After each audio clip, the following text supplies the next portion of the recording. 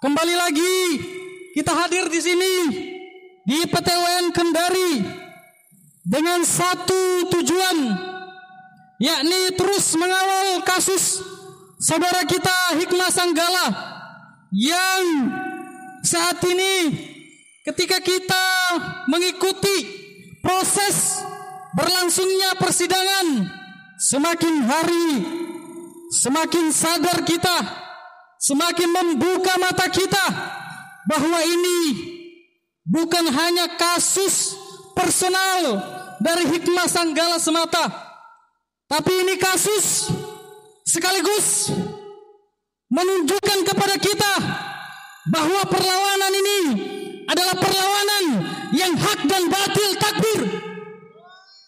Kenapa demikian saudara?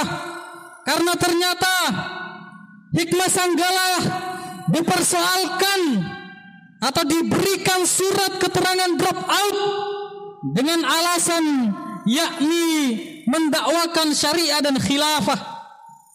Itulah poin paling penting kenapa kemudian surat drop out itu dikeluarkan.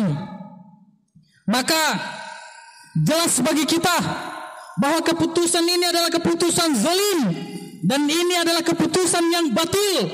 Sementara menyampaikan ataupun mendakwakan syariah dan khilafah adalah sesuatu yang difardukan oleh Allah Subhanahu wa taala, sesuatu yang hak. Bahkan hanya orang-orang yang terdapat sifat-sifat munafik di dalam hatinya yang menolak kewajiban menerapkan syariat Islam secara kafah takbir karena itu keputusan ini bukan hanya keputusan yang zalim tapi juga keputusan yang batil. Maka dari itu kawan-kawan yang dirahmati oleh Allah Subhanahu wa taala hadirnya kita di sini ingin menunjukkan kepada seluruh sivitas akademika IAIN Kendari juga kepada seluruh masyarakat wabil khusus mahasiswa wilayah Sulawesi Tenggara bahwasanya jangan pernah gentar untuk menyampaikan kebenaran takbir. Jangan pernah mundur walaupun selangkah untuk mendakwakan syariah dan khilafah takbir. Karena sejatinya para pengusung para penegak-penegak kebenaran yang menyuarakan tegaknya syariah dan khilafah tidak akan pernah dibungkam, tidak akan pernah disumbat mulutnya hanya karena selembar kertas DAO takbir.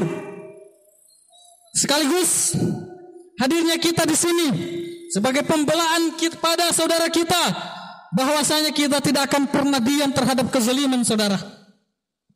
Dan ketahuilah bahwasanya apa pun keputusan hakim nanti, apa pun keputusan ketuk palu dari hakim nanti, apakah kasus ini akan dimenangkan oleh kita ataupun dimenangkan oleh rektor IAIN Kendari, ketahuilah bahwasanya sesungguhnya kasus ini sejak awal telah kita menangkan saudara takbir. Ketahuilah bahwasanya kasus ini sejak awal kita telah menangkan saudara. Kenapa?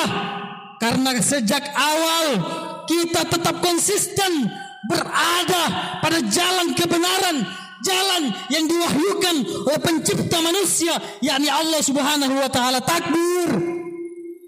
Karena itu, walaupun nanti hakim memutuskan dengan mensahkan SK rektor berupa drop out itu dengan membuat rektor IAIN Kendari semakin berani dengan niatan mungkin untuk membungkam suara-suara pejuang syariah dan khilafah.